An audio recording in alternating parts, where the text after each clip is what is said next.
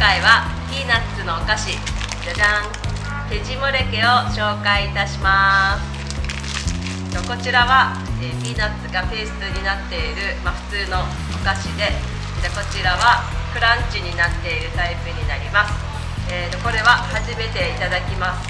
ので2つとも食べてみます、うん、いただきます。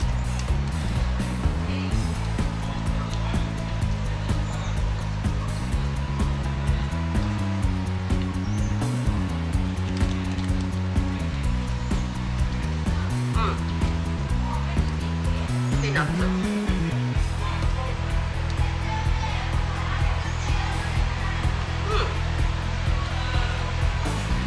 美味しい。そんなに甘すぎない感じ。ででも喉は渇くけど美味しいです。うん。美味しい。いただきます。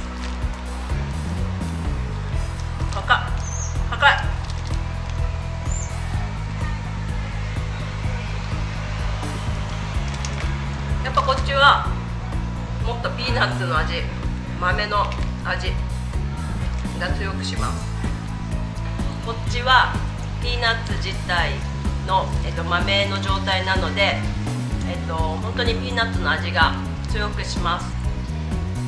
私はお菓子としてはこっちの方が食べやすくて好きですね。美味しい。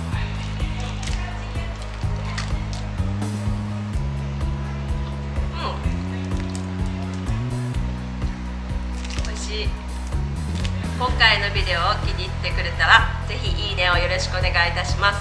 また、えー、このチャンネルの登録もお願いいたします。えー、と下の方からコメントもお待ちしております。ではまた次回お会いしましょう。あてまーす。